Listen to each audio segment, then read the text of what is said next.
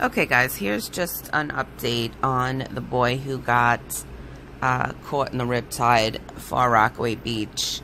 Um, they finally found, I guess they found out who he was, and it's uh, become a recovery mission. Um, so here we go.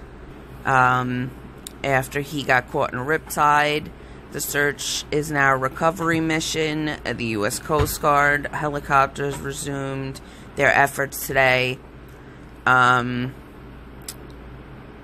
let's see. The beach is closed for the season. There were no lifeguards. Swimming is prohibited, but surfing is allowed, which makes absolutely no sense because in order to surf, you would need to swim, right, people? Yeah. So, I mean, dumb. Just dumb. Okay? Just fucking dumb. Oh, let me see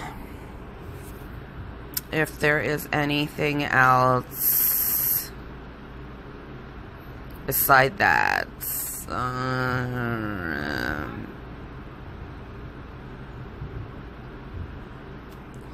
these people, I swear.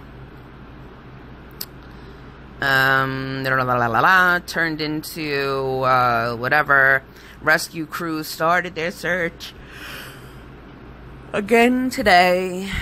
Um, police switch from rescue to recovery operations. Um, so I guess they know he's dead by now. Um, aviation and diving units were combining the area to find the teen who was swimming with friends when he went missing. Officials suspended the search Saturday um, after two hours, adding that the riptide made such difficulty uh, for them to look. Lifeguards are no longer on duty. Rockaway Beach after Labor Day. Okay. Around the same time as the Rockaway search, police down Jersey Shore pulled a man from the rough waters off the seaside heights. Police say a wave may have broken the man's neck and he drowned. Hurricane Florence, which quickly downgraded as a storm after making landfall, was predicted to cause dangerous riptides as it approached um, the East Coast. So that was part of the dangerous um, issues with the water there. Um, but like I said in my first video, this is not the first um, issue there at uh, Far Rockaway Beach. Even when there is, you know, guards there. Um, so, let's see. Um, uh, friends and uh, spoke and said the missing swimmer is Lamine Star. Okay, so I don't know how they got the other name. Uh, Lamine Starr, senior at the Channel View School of Research, who loves music and basketball. Friends describe him as being loved by all. Wouldn't do anything wrong to anyone. He wouldn't bully anybody, wouldn't harm anybody.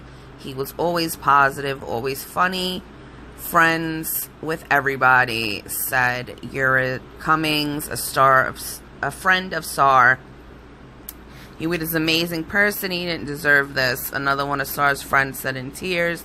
The NYPD responded to the calls of the teenager struggling in the water um, around 5 p.m. Saturday. Police say that they looked for him before the search was suspended at 6:20 p.m because of the water not being easily, um, not being easy for them.